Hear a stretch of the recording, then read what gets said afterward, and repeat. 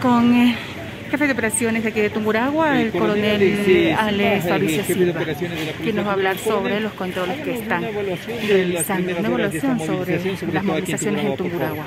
Gracias, un saludo cordial a toda la ciudadanía de la provincia de Tunguragua.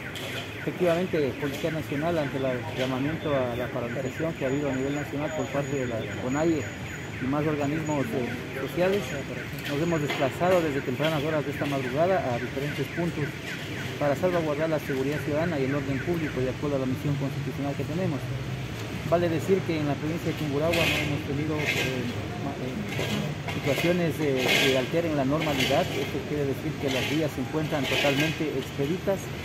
No descartamos que podría en las próximas horas presentarse algún tipo de manifestación que trate de paralizar la provincia, sin embargo debemos decir que hasta este, este, momento nosotros no tenemos reportes de ningún incidente que tenga que ver con orden público. ¿En los nueve cantones es la misma circunstancia, coronel? Sí, efectivamente, en los nueve cantones de la provincia no tenemos eh, ninguna novedad referente a, cierre de vías o a paralizaciones.